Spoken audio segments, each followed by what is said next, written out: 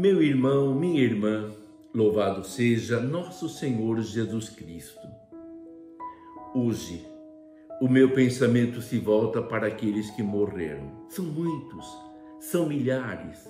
Cada dia, cada noite, tomamos consciência de números que nos assustam.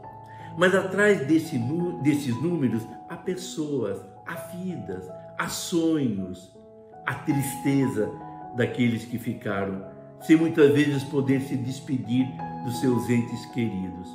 Entes queridos que muitas vezes gostariam de ter uma assistência religiosa nos últimos momentos de sua vida e não puderam. Aliás, quantos sacerdotes faleceram, especialmente na Itália?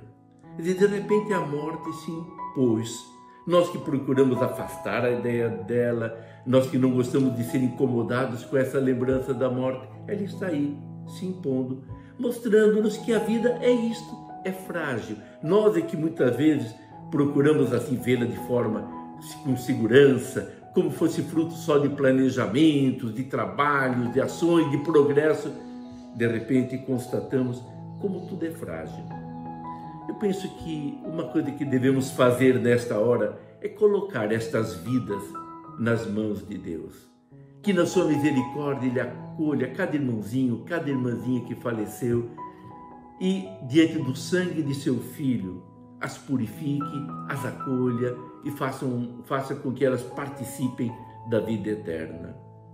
Que o Senhor nos ensine a aprender as lições que esses mortos nos deixam que não temos aqui morada permanente, que um dia também seremos chamados para nos defrontarmos com o Senhor na eternidade e que Ele não vai nos perguntar que títulos nós levamos para a eternidade, que bens, o que, que conseguimos em termos de grandeza diante do mundo.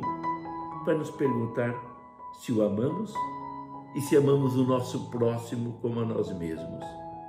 Vemos então que, mesmo tendo falecido, estes irmãos e irmãs nos deixaram e deixam lições que, se bem aprendidas por nós, vão nos ajudar a viver mais profunda e mais intensamente. Fique na paz do Senhor Jesus.